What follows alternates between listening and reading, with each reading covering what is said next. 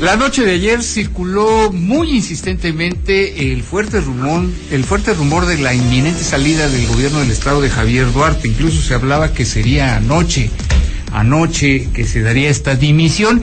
Y esto fue a partir de la publicación de la columna de la periodista Claudia Guerrero, que suele ser una mujer muy informada y quien dio a conocer que esto estaría cocinándose ya.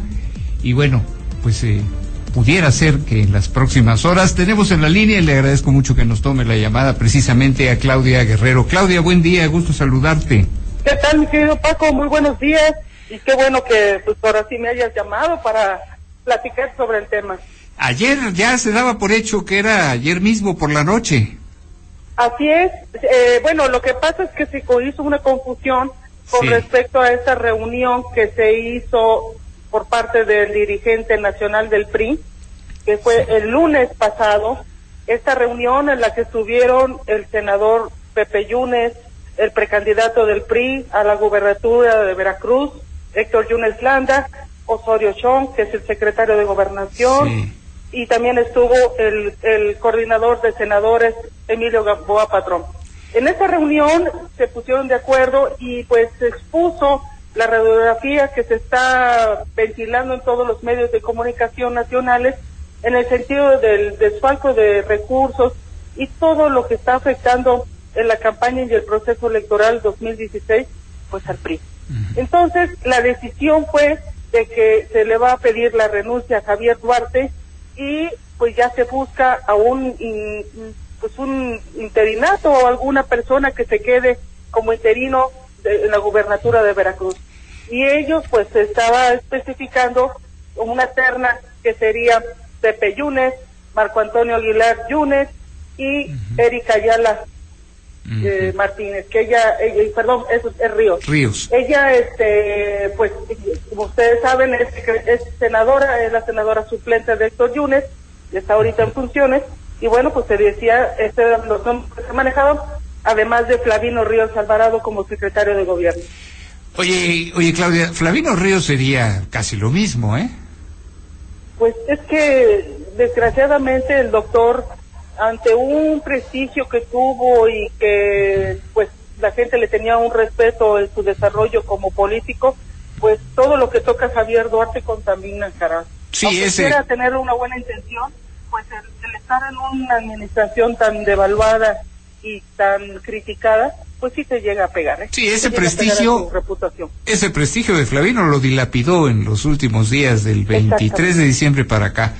Pepe Yunes, ¿le convendría a Pepe Yunes venir a- al bomberazo?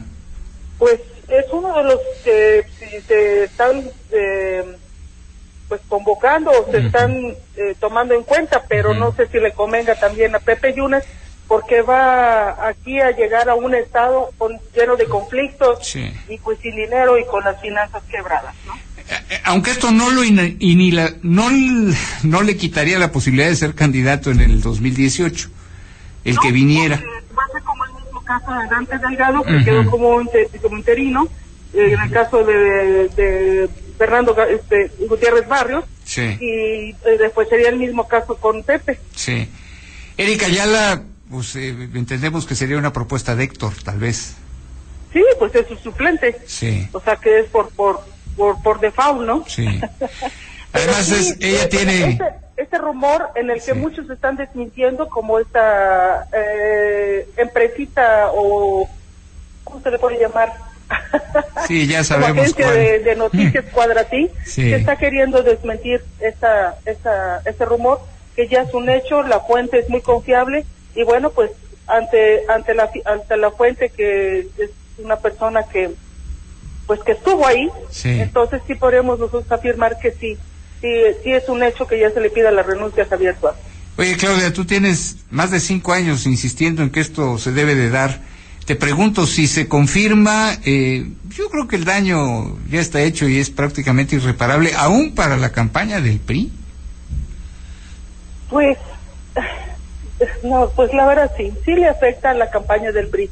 Pero si vemos a, a Héctor Yunes que se deslinda de esta, pues, podríamos decir, marejada de, de duartistas, pensamos que podría sí rescatar, rescatar lo que son las siglas del PRI. Por lo menos ser... No es mal, Héctor Yunes no es un mal candidato. No, no, no. Pero desgraciadamente, pues, todo lo que huele a PRI se, hace o se hila con, con, el duartismo.